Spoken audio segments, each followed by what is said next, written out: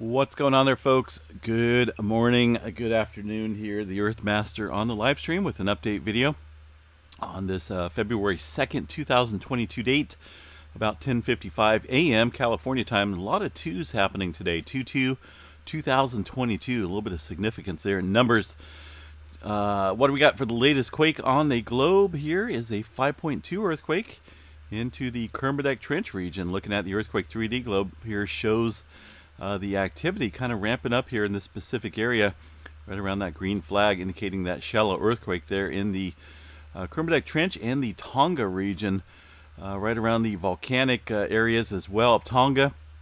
Some movement kicking up there once again overnight. Let's go ahead and check it out here on the latest USGS map. You can see the red circle down here indicating that most recent earthquake, 5.2, and uh, quite a few other fives along the Kermadec Trench area have been seeing a pretty good amount of swarming activity here within the last week. Uh, but up here around the Tonga area, still seeing some movement uh, around the volcanic chain here with Hunga Tonga right here in this little speck. We'll go ahead and zoom in a little bit so you can see the uh, volcanic uh, island there. 4.9 striking in that region uh, last night. Uh, just south there, it looks like about maybe 12 miles or so to the south of the volcano. But overall, generally speaking, quite a bit of movement here along the Kermadec Trench, Tonga Trench, and once again, some deep, deep earthquake activity just outside the Tonga and Fiji regions uh, with a 5, uh, 4.6 coming in at 583 kilometers below the surface there. Quite a, quite a bit of deep movement kicking up here. Also, we're starting to notice a little bit of return of movement up here off the coast of Japan, uh, just to the east of Tokyo along the Japan Trench. Uh, subduction zone earthquake, it looks like 49.9 uh, kilometers below surface for a 4.4 earthquake. Uh, like I said, this one just occurring off the coast. Still watching this region here, folks. This this uh, got to be building up some accumulated stress there, uh, and it's um, been all too quiet within that region recently. Uh, what else we got? We did see some further movement to the west here in this area of the world around Iran. A 4.7 struck uh, earlier this morning, and also some further movement outside of Greece uh, happening earlier this morning as well uh, with a 2.9. Nothing significant out in the Atlantic Ocean. Uh, South Sandwich Trench regions showing some return of movement here with a 4.9 into the subduction zone here at 54.8 kilometers. Uh, it's been quiet for the past couple days, but looks like activity returning there as the plates shift around. Uh, West Coast has seen uh, quite a bit of movement as well over the last couple days. I'll go ahead and bring up the all magnitude or the. Uh, let's stick with the 2.5 real quick here. Kind of see some of the larger quake above the 2.5 threshold, uh, kicking up here around the Bakersfield area, and also up the coast here. Uh, seeing a another 2.5 right smack dab there on the uh, oceanic fault zone, just off of it looks like. This little fault system kind of runs up here along the coastline. San Andreas Fault sits over here to the east, a dark red line. Uh, movement outside of Bakersfield again. I believe this is the area that's seen some swarming kickoff here. Um, uh, let's see, I think it was over a week or so ago now. Let me see if I can bring it up here on the 30 days. I take that back. It's kind of new activity out here around the Elk Hills. 2.5 outside of Buttonwillow. Uh, the swarming that we were watching near the Wheeler Ridge is down south a little ways, uh, but we have not seen any further movement return to that area of the uh, of the state of California. But uh, definitely seen some activity up and down the west coast, San Andreas Fault as well. Seen some movement up here to the north around Gil Gilroy and the Watsonville area. Zooming in a little bit closer uh, view of the area. Looks like a couple twos and some other microquakes around the vicinity of the Gilroy area. It looks like it's just off the, uh, which fault system is that? Sargent Fault Zone. So yeah, I don't really recall too much, hearing too much about this area here. Uh, but it looks like a pretty lengthy fault zone just off the San Andreas Fault. Um, not super highly populated, but there is, uh, of course, the communities of, of, Gilroy and Watsonville around this area. Uh, but either way, uh, definitely some movement outside of the San Andreas Fault in that region. Uh, up into the north, not a whole lot around the Bay Area, just this little microquake uh, just south of the uh, um, the major part of the Bay Area. and off of the San Andreas Fault to the east. Uh, movement up into the north, northern part of Northern California, not showing a whole lot of activity here on the map. And, um, you know, it's possible these guys aren't reporting it. Once again, I haven't seen any seismic activity on the graphs. Uh, of course, I haven't been watching them too much this morning, been kind of busy on this end. But uh, pretty quiet up here for now. Uh, we were watching some tremor activity kick up into the Cascadia subduction zone. Of course, that was ultimately uh, applying further stress up here along the locked area. We started to see some movement off the coast and into the area of the locked zone of the Cascadia yesterday with a couple twos and some deeper earthquakes into this region. But today, not a whole lot showing up there. So we'll see what the tremor looks like a little bit later on this evening uh, when that comes out. Uh, some further activity up around the Victoria area.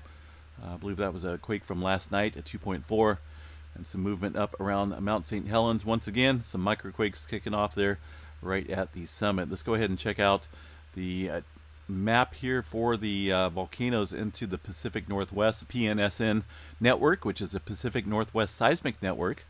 Uh, is a pretty cool site to check out the seismographs of volcanoes and just general seismic activity into the Pacific Northwest if you want to check it out. Uh, but right now we're going to check out the Mount St. Helens area and look at the earthquake activity over the last two weeks here uh, in the region of the crater. You can see that. Uh, not a significant swarm, but definitely movement, and uh, it's pretty common to see earthquakes there uh, around any volcano, whether it's a volcanic or uh, tectonic in nature.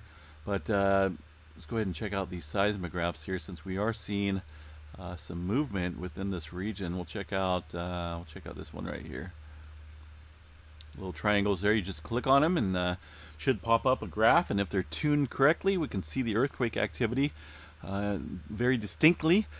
We'll see if these uh, see if they are tuned properly.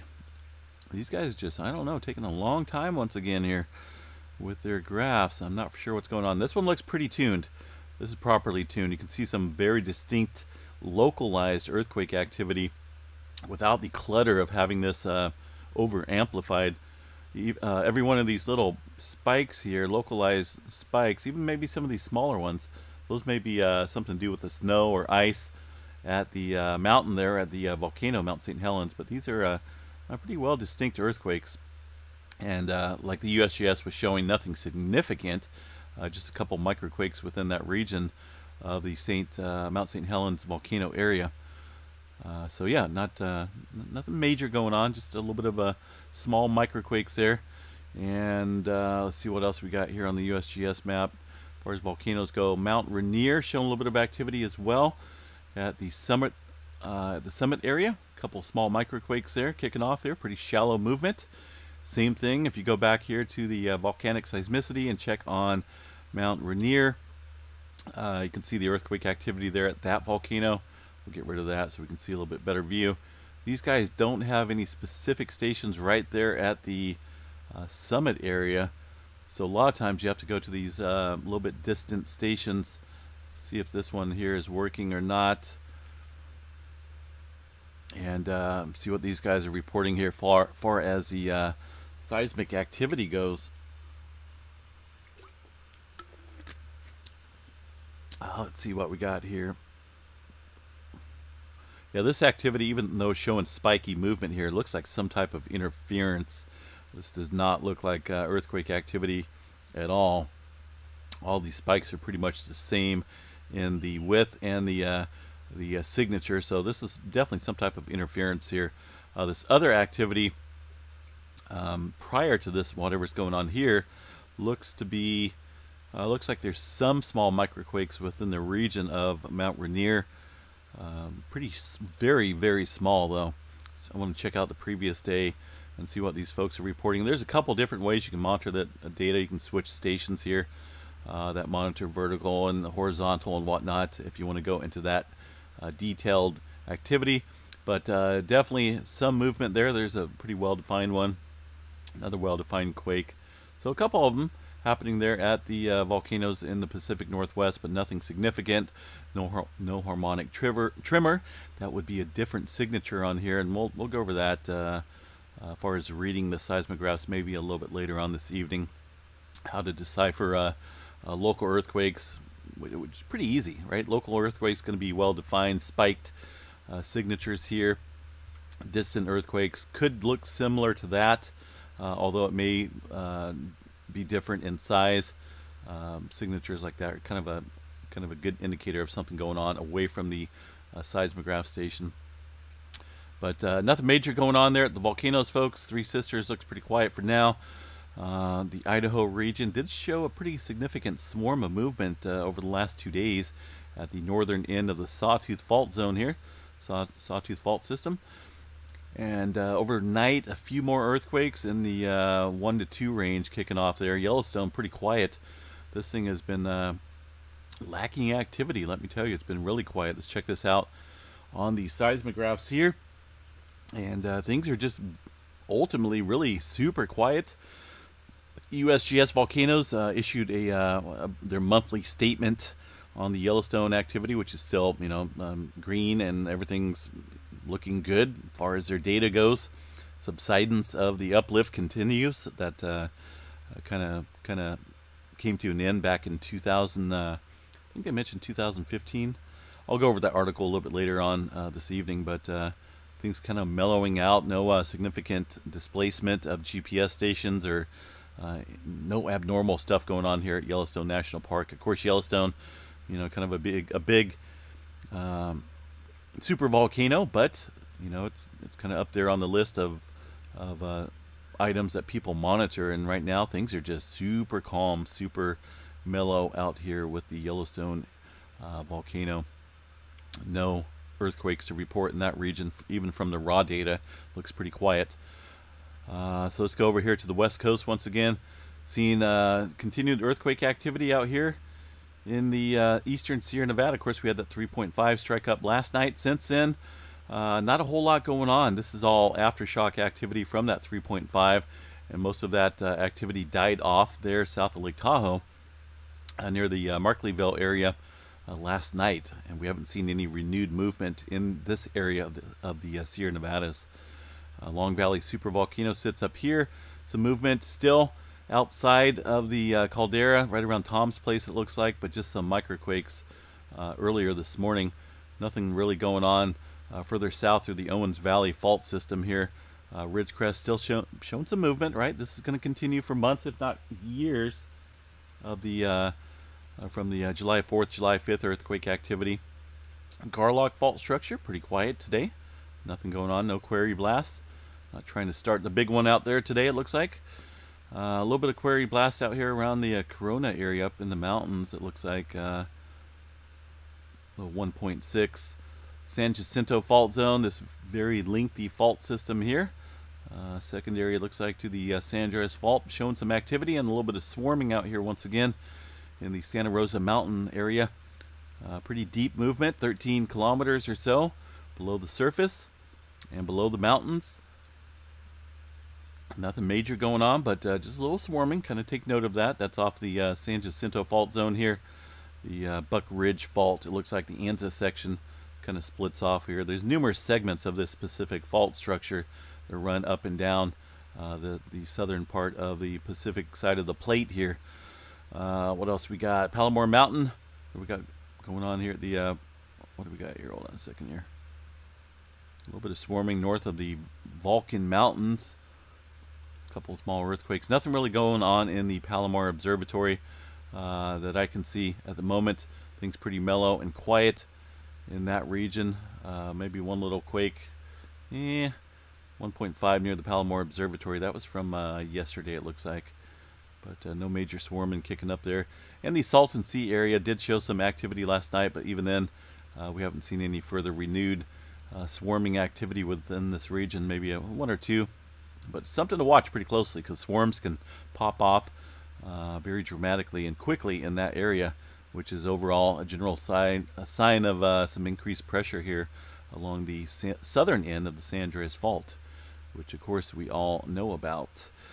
Um, what else we got? A little bit of activity stretching up into the Utah region. Once again, seems to be a fairly uh, stable pattern of earthquakes recently.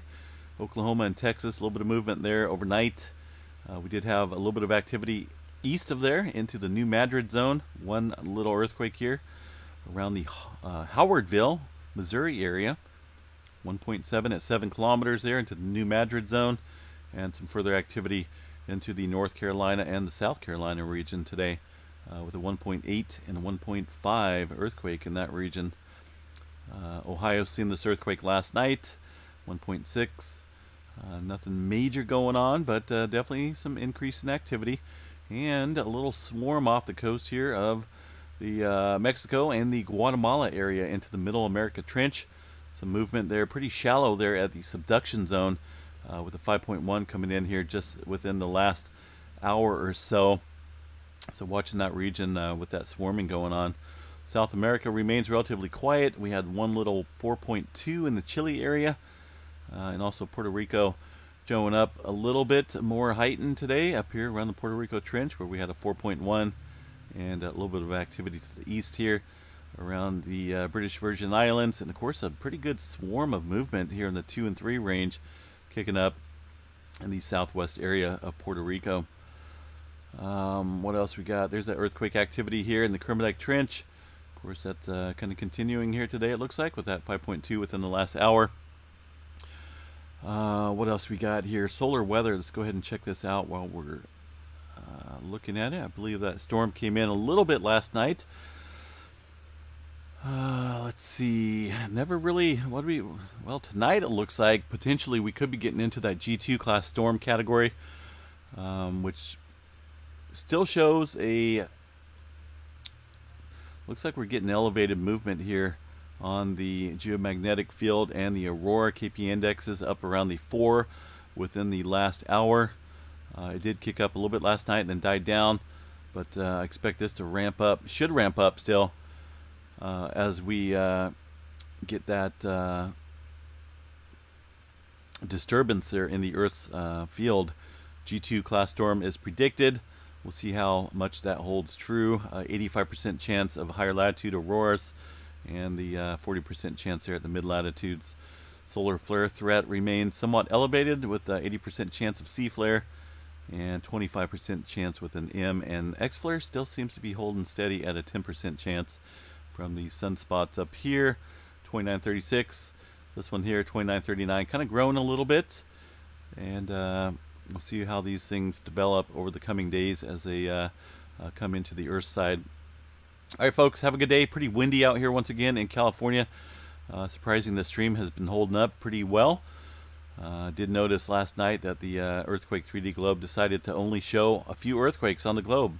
Something similar to about like that. And there's no way that can happen unless it's uh, adjusted on my end. So I, am not for sure what's going on. Little games that are still being played it seems like.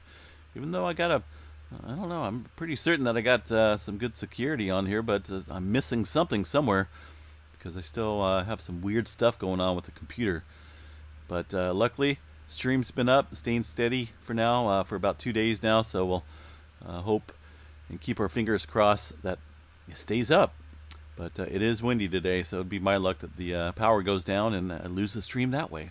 Hopefully not. I better not jinx it, right? All right, guys, stay safe out there. Uh, a little bit of activity kicking up here, uh, no doubt, in the West Coast and the Middle America Trench region. We will chat you guys a little bit later on this evening with the update. Stay safe. Stay safe out there, folks. Peace out.